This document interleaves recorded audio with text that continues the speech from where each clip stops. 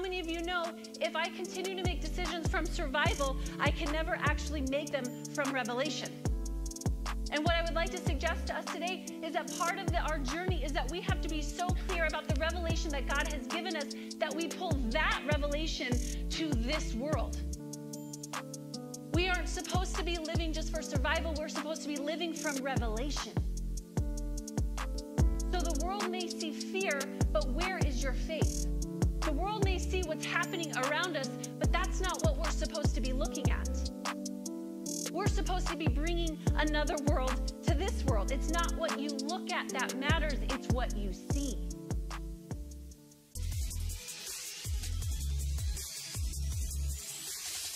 Hello, Journey Church.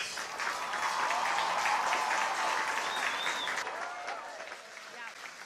We've traveled all across the country. We've been to a lot of churches. I grew up in the church, and what's happening here is real. And it's because Pastor Keith and his staff and his wife Kara behind the scenes are, are praying for fire.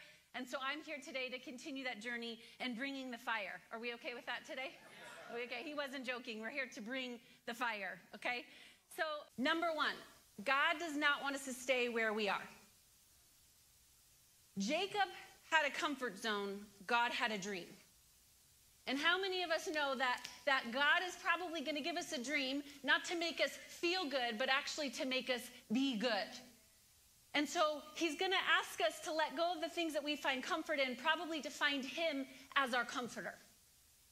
The second thing that we learned is that we are not defined by our pasts, our mistakes, even our current realities. We're defined by the promise of God on our life.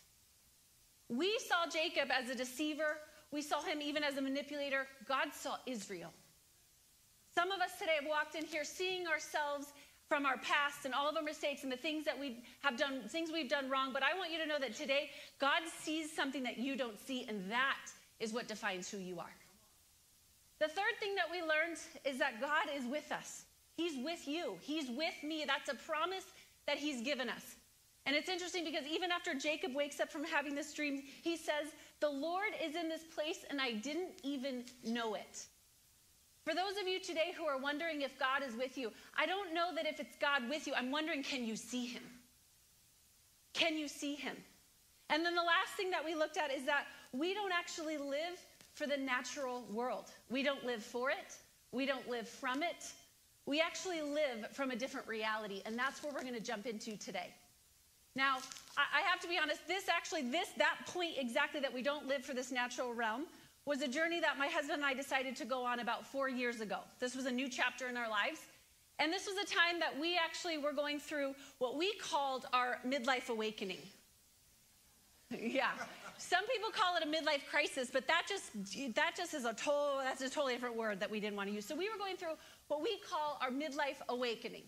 Right? I was again at the time only 30, right? But for us, we had started to climb the corporate ladder and the American dream. We were entrepreneurs. We were doing the things that people said that you should do to be fulfilled, right? We bought the house and the cars and the 2.5 kids and all of the things.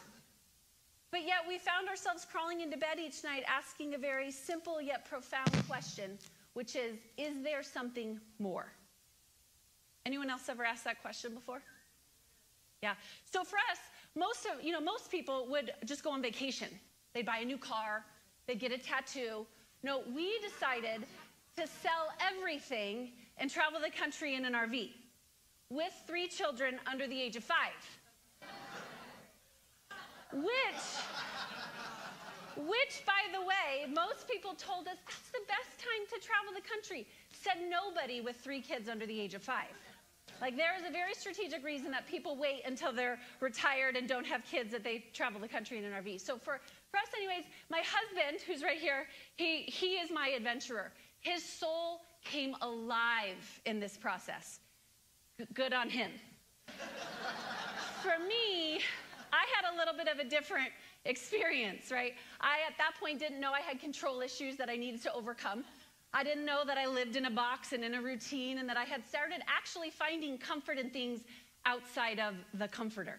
And so for me, this was kind of a spiritual journey. It was for him too, but it was, it was a time that even on this process, I was finding myself asking that same question like, God, Is there something more? And what I would like to propose is be careful the questions you ask God.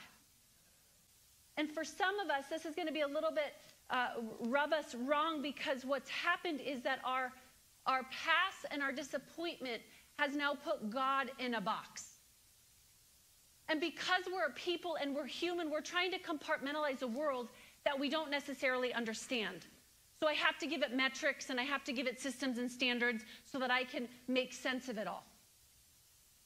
So what happens is that then we start to actually take our, our, all of our ideas around God and we're basing our theology on experiences, not truth.